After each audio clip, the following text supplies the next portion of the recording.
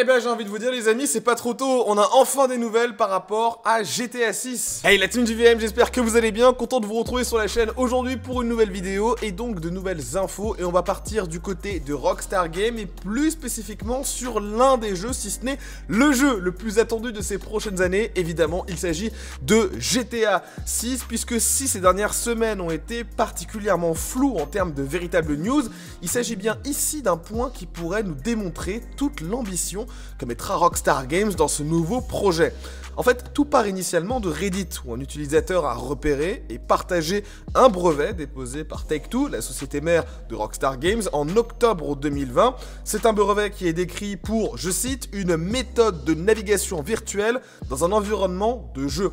Et à partir de là, on peut se dire, ok, bah ça vient de Take-Two, et donc pas forcément de Rockstar Games, parce que Take-Two possède également d'autres éditeurs, comme 2K Games. C'est quoi la preuve en gros que ça vient vraiment de Rockstar? En fait, quand on regarde de façon plus spécifique, il s'avère que le brevet crédite deux noms très Le premier, c'est David In, qui est directeur technique chez Rockstar Games. Et puis on a également Simon Parr, qui est responsable de l'IA.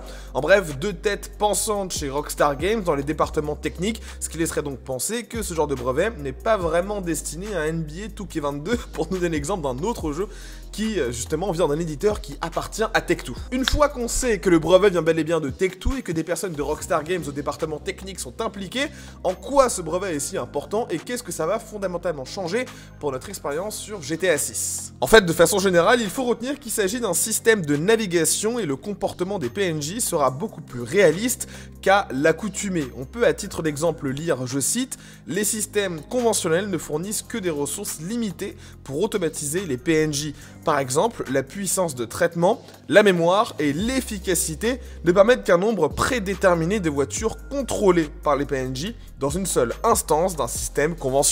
Ce qui est très cool avec ce brevet, c'est qu'il va nous permettre justement de voir un peu quelle est l'ambition de Rockstar Games quant à ce nouveau projet qu'on soupçonne être GTA 6 à mon avis, et qui justement pourra proposer un univers crédible, vivant et surtout organique. Ce qui était par ailleurs frappant dans Red Dead Redemption 2, les PNJ y étaient assez uniques pour la majorité, et la sensation d'automatisme que l'on peut retrouver dans les IA de certains jeux était beaucoup moins présente dans la dernière production de Rockstar Games. On peut également lire sur le brevet, je cite toujours, hein, cependant, les joueurs d'un jeu vidéo s'attendraient à voir plus qu'un nombre prédéterminé de voitures contrôlées par des PNJ dans un jeu vidéo pour une expérience réaliste. Et ça va pas s'arrêter là en fait, puisque le brevet décrit aussi que l'IA pourrait voir son intelligence et sa capacité d'adaptation augmenter, avec à titre d'exemple, eh bien, le fait que les PNJ seraient en mesure de détecter s'ils sont sur le point d'entrer en collision avec un autre véhicule, voire même les barrages routiers et divers obstacles sur son chemin. Dans d'autres cas, cette IA GTA 6 pourrait aussi reconnaître le type de route dans laquelle elle se trouve, mais également agir en conséquence. On a même un exemple dans le brevet, hein, il est spécifié, je cite toujours, par exemple conduire plus lentement sur des routes de type résidentiel, ou devoir effectuer certaines manœuvres pour éviter le trafic venant en sens inverse sur les rues à voie unique. On parle donc ici également de restrictions de vitesse, de caractéristiques spécifiques à l'environnement et d'autres facteurs comme le véhicule, voire même la météo. Enfin, il faut également noter que le brevet décrit aussi un système pour peupler le trafic routier et le rendre plus dense de façon plus réaliste. Par exemple, les rues principales devraient avoir plus de véhicules que les rues secondaires. Une route à faible densité à côté d'une route à haute densité peut entraîner des zones à fort trafic et un passage de voiture sur une route locale à parallèle à une autoroute très fréquentée peut affecter la densité de l'autoroute très fréquentée. En tout cas, ce qui est sûr, c'est que du côté de Rockstar Games, ça a l'air de bosser euh, très très dur pour le prochain titre de la saga GTA qui se doit évidemment d'être à la hauteur de GTA 5. GTA 5, je ne le présente plus, rouleau compresseur médiatique, énormément de milliards de dollars engrangés, un succès planétaire. Bref, il faut absolument que GTA 6 relève encore plus la barre, ou du moins soit au même niveau que GTA 5, surtout vu le nombre d'années euh, justement où on l'a attendu, c'est quand même assez dingue. Et puis évidemment, autre chose, ça permet aussi de se poser des bonnes questions concernant nos envies pour cette nouvelle génération de consoles, puisque en effet, on nous parle de graphisme, on nous parle de fluidité, mais je fais partie de ceux qui pensent qu'il faut vraiment qu'on ait un gap, qu'on ait un bon technologique quant à l'intelligence artificielle dans le jeu vidéo.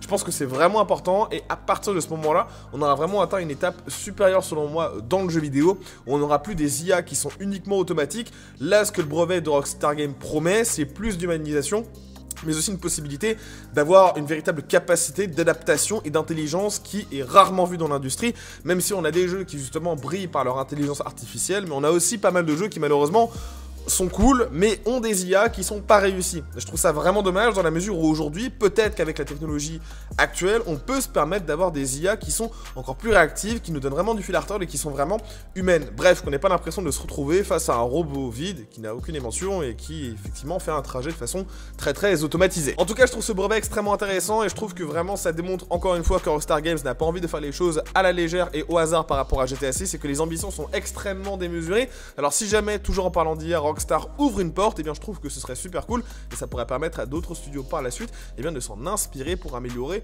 leur intelligence artificielle Voilà en tout cas ce que j'avais à vous dire à ce sujet. Je crois que je n'ai pas d'autres informations pour vous. Non, pas du tout, je vous ai tout dit. Merci beaucoup de m'avoir suivi pour cette vidéo. N'hésitez pas, si c'est pas déjà fait, à vous abonner à la chaîne, mais également activer la cloche pour ne louper aucune vidéo qui va débarquer, pour ne louper aucune actualité liée au gaming. Et puis on vous retrouve très très vite sur la chaîne, en sachant aussi que vous pouvez nous retrouver sur les réseaux, Facebook, Twitter, Instagram, le serveur Discord qui fait bien plaisir. Et puis on vous dit à très vite sur la chaîne pour de nouvelles aventures. C'était Momo pour JVM, et comme d'habitude, je vous dis la bise et Prenez soin de vous. Ciao.